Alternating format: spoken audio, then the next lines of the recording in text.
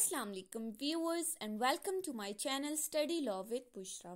So in today's video we are going to start a new chapter of CRPC that is process to compel appearances.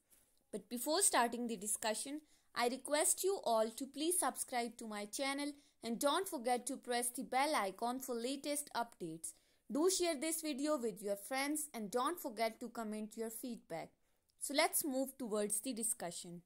अब ये जो process to compel appearances है, ये हमारे पास चार चीज़ों के साथ डील करता है।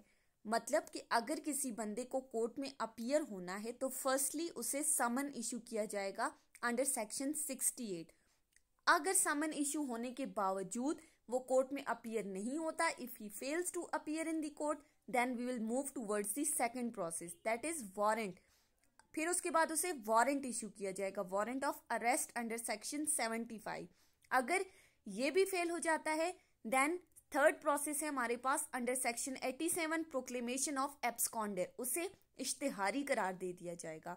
अगर इसके बावजूद भी उसकी अपियरेंस नहीं होती तो फिर the property of that person is sold under section 88 तो फिर कोर्ट क्या करेगी? उसकी प्रॉपर्टी की तरफ़ मूव करेगी और फिर उसकी पर्सनल प्रॉपर्टी को सेल कर दिया जाएगा।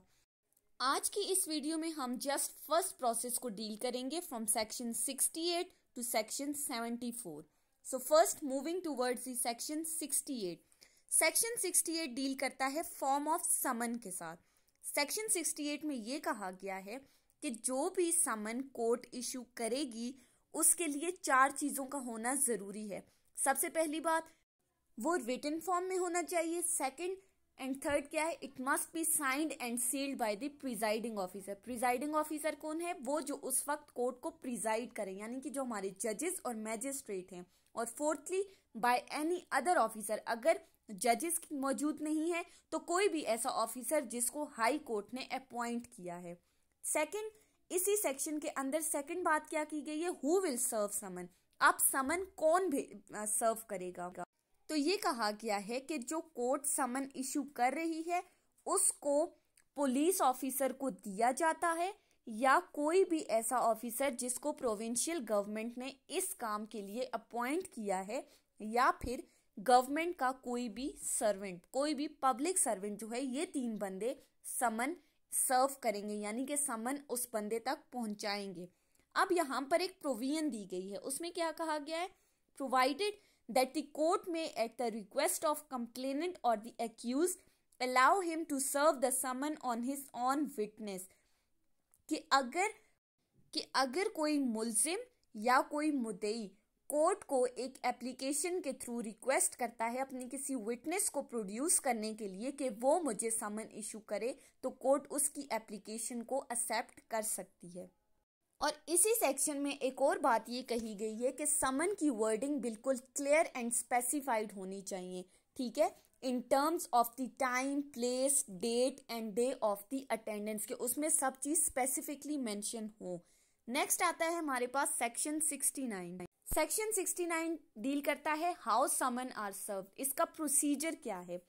तो सबसे पहली बात ये कही गई है कि समन या तो पर्सनली उस बंदे को भेजा जाएगा, ठीक है? The copy of summon shall be personally serve to that person to whom the court is demanding जिसको कोर्ट डिमांड कर रही या तो उसको पर्सनली भेजा जाएगा और फिर जिस बंदे को वो समन भेजा गया है, वो उसकी, उससे एक रसीद पर एक सिग्नेचर लिया जाएगा, ठीक है? और इस सिग्नेचर का मकसद क्या है? कि कंफर्मेशन हो जाए कि फलां बंदे को समन रिसीव हो गया है।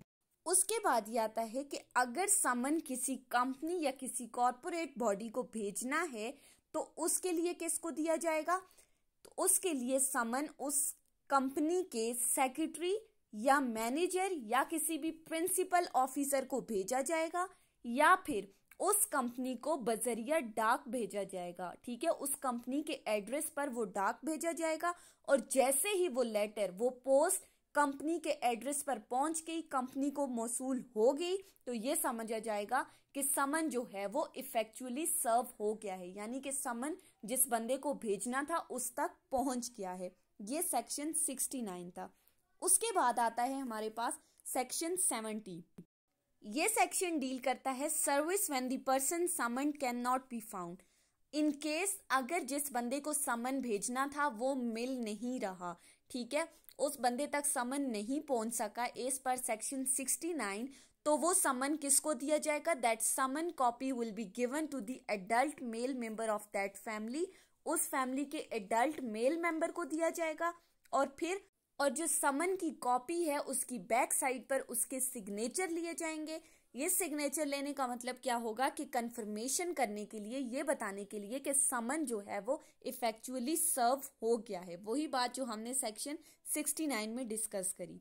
उसके बाद आता है सेक्शन 71 सेक्शन 71 डील करता है procedure when the service can not be effected as before provided यानी कि अगर एज पर सेक्शन 69 और सेक्शन 70 समन सर्व नहीं हो रहा तो फिर क्या प्रोसीजर होगा? ठीक है? अगर उस बंदे को पर्सनली भी सर्व नहीं हो रहा, अगर उसकी फैमिली मेंबर को भी नहीं दिया जा रहा तो फिर यानी कि कोई भी घर पर मौजूद नहीं है। तो ऑफिसर क्या करेगा?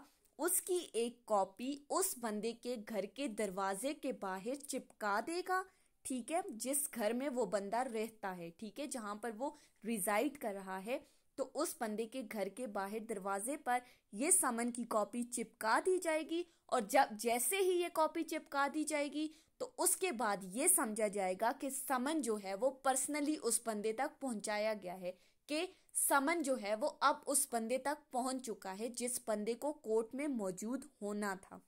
ये सेक्शन 71 सिंपल सा था। उसके बाद आता है सेक्शन 72 सेक्शन 72 डील करता है service on the servant of state और स्टेचूटरी बॉडी और कंपनी इन केस अगर कोई बंदा किसी कंपनी का एम्प्लॉय है, ठीक है?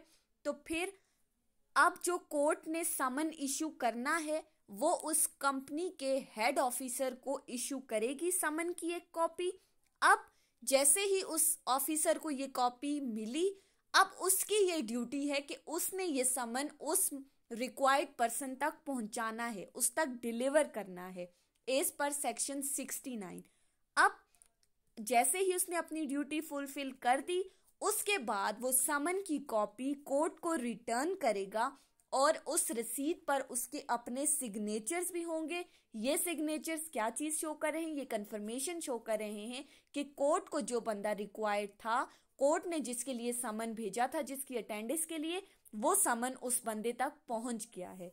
उसके बाद आता है सेक्शन 73 सेक्शन 73 डील करता है service of the summon outside the local limit यानी कि अब किसी कोर्ट ने किसी बंदे को समन इशू करना है, किसी की अटेंडेंस कोर्ट में ज़रूरी है, उस बंदे को समन इशू करना है। लेकिन वो बंदा उस कोर्ट की जुरिस्टिक्शन में रिजाइड नहीं कर रहा। That person is outside the limits of that court उसकी लिमिटेशन से वो बाहर है। उस सूरत में कोर्ट क्या करेगी? कोर्ट क्या करेगी? जिस इलाके में वो बंदा रिजाइड कर रहा है, जिस इलाके में वो बंदा रह रहा है, वो कोर्ट उस इलाके की मैजिस्ट्रेट को एक नोटिस भेजेगी, ठीक है? और नोटिस के साथ समन की कॉपी भेजेगी और ये लिखा होगा नोटिस में कि फलां बंदे को मेरी कोर्ट में मौजूद होना है, इसलिए आप ये समन उस बंदे तक पहुँचा दें। अब ये समन पहुँचाने की ड्यूटी किस पर आ गई? उस इलाके के मैजिस्ट्रेट पर।